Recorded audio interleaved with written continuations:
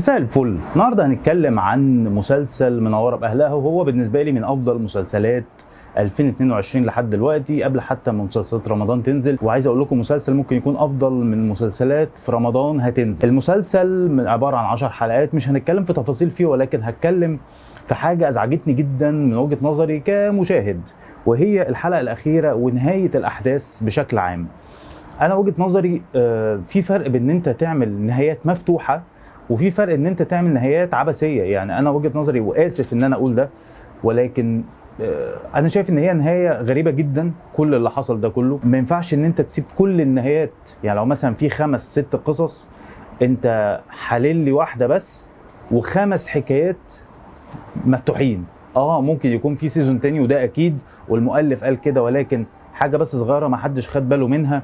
وهو إن لما محمد أمين راضي قال إنه في آه، season تاني أو في آه، موسم تاني هو قال إن هو لسه ما اتصورش أصلا. فبالتالي عشان يتصور وينزل ويتمنتج ويتظبط قول هينزل على الشتاء الجاي على آخر الصيف مثلا مش هينزل الأسبوع الجاي يعني مش هينزل بعد رمضان على طول. فأنا وجهة نظر إن دي غلطة كبيرة. ليه؟ مسلسل من نوعية المسلسلات دي ما ينفعش إن أنت تستنى عليها كتير عشان الأحداث اللي فيها كتير جدا. يعني أنا الحلقة الأخيرة دي الواحد أعصابه باظت مش من المشاهد اللي فيها أو كده لا قد ما كمية التفكير وده طلع مين ومين ومين الضابط ومين مش عارف ال- اللي هو الراس الكبيرة بقى ومين. فأنت مشتت ما بين ده وده وده. في فرق بين إن أنت تفكر وإن أنت تجيب حاجات مختلفة وفي فرق بين إن أنت تكون مشتت. أنا كنت مشتت تماما وأنا حد يعني مش يعني أنا حد فاهم شوية دراما وعارف انه ممكن يكون دي ليها مغزى أو ليها معنى تاني انه ممكن الاحداث توديك في حتة تانية. لكن أنا شايف انه في كمية دوشة وحاجات داخلة في بعض وكله راميهولك لل season التاني. طب ال season التاني ده لو اتعمل في خلال شهرين ثلاثة هل ده حاجة عدلة؟ هل ده حاجة طبيعية؟ مثلا أنا هفتكر كل الأحداث بتاعت العشر حلقات أو آخر ثلاث حلقات عشان أقدر أربطها بال season التاني ولا هتعمل لي حلقة بقى فلاش باك هنفضل نحرق في الح... في ال season الأول ب... بأول حلقة من ال season الثاني يعني أنا شايف إنه في غلطات كتير في المسلسل ده. تحديدا النهاية بتاعتها النهاية بتاعتها يعني يعني استفزيت منها لدرجة إن أنا عملت الفيديو ده. آه، ما ينفعش يكون نهاية بالشكل ده. أنت ممكن تقفل لي مثلا قصة إيه موضوع ورا الأطفال ده؟ يعني إيه حوار الأطفال؟ بياخدوا منهم إيه؟ هل دم فعلا زي ما أنا قلت عشان الكولاجين والحاجات اللي كانت بتتكتب على الإنترنت دي ولا لأ؟ ده كانت كان- ده كان لازم يتقفل. حكاية ليلى علوي كانت لازم تتقفل. الباقي بقى افتحه. يعني حتى لما انت قلت لي الراس الكبيرة هو آه، أشرف اللي هو الضابط معلم عالمي. ليه بقى توديني تاني وتقول إنه مش هو؟ طب مين عباس أبو الحسن؟ يعني ماشي أنا فهمت إنه عباس أبو الحسن كان يعتبر رسم لأحمد السعداني مثلا لما هو رسم وتخيل الشخصية فإحنا كملنا معاها وشربناها تمام. لكن أنت دلوقتي في حقائق اتغيرت كتير. مع الفلاش باك أنا وجهة نظري برضو إن الفلاش باك من أسوأ ما فيه هو الشخصيات زي ما هي أشكال الممثلين زي ما هم. يعني أنا مخرج كبير يسري نصر الله مخرج كبير جدا. ولكن من ضمن ال défauts دي مش حاجة دي مش ميزة أو حاجة مثلا مقصودة. لا ده ده عيب في الإخراج عيب بقى ايا كان في إيه. لكن لما أنت بتحكي في إنه سنة 96 هي هي سنة 2010 لما نشوف مثلا شكل غادة عادل مفيش كده يا جماعة؟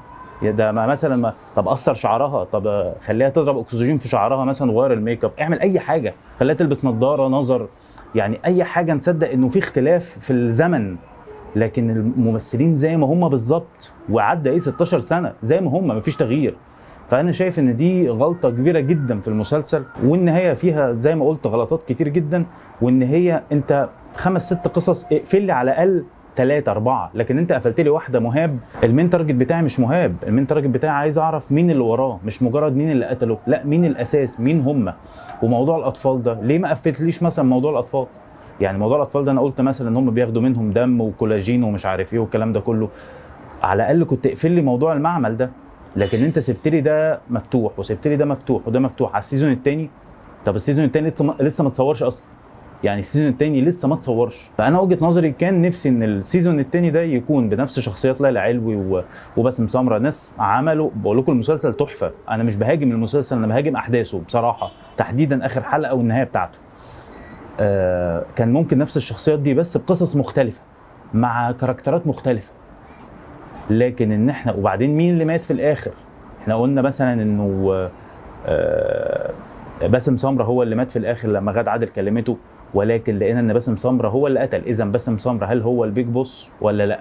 مش عارف. فأنت على الأقل ارمي لي خيط وخليني امشي وراه وأتوقع. لكن انت ما رميتليش اي خيوط خالص. انت سبت الدنيا عايمة بشكل عبثي مش عايمة بشكل حلو عايمة بشكل كل واحد يبقى ليه vision ورؤية. لا ده ما حدش فاهم حاجة. أنا بكلم أصحابي وأختي ومش عارف إيه ما حدش عارف حاجة. يعني ما حدش عارف يستنتج حاجة وده بالنسبة لي مش نجاح على فكرة. أنا النجاح هو إن أنا كل واحد يطلع بحقيقة لكن مش اللي هو يطلع ب... والله ممكن يكون ولكن إزاي ده جه؟ إزاي ده عمل؟ لا برغم إن المسلسل ابتدى وفي نصه وحتى قبل آخره خرافة تحفة.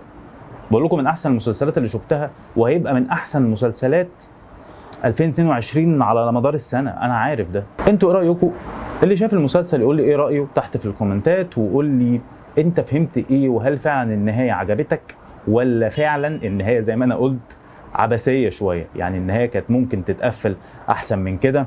وحتى لو في استعداد ل season تاني بس ما تسيبش الدنيا فاتحة كده. فاتحة خالص فاهمين؟ يعني أنا أنا قلت على الأقل ال season ده كان المفروض يبقى 12 حلقة مش 10 دي وجهة نظري وده اللي كان عندي النهارده. اللي ما شافش المسلسل لازم تشوفه ملوش حل بصراحة يعني.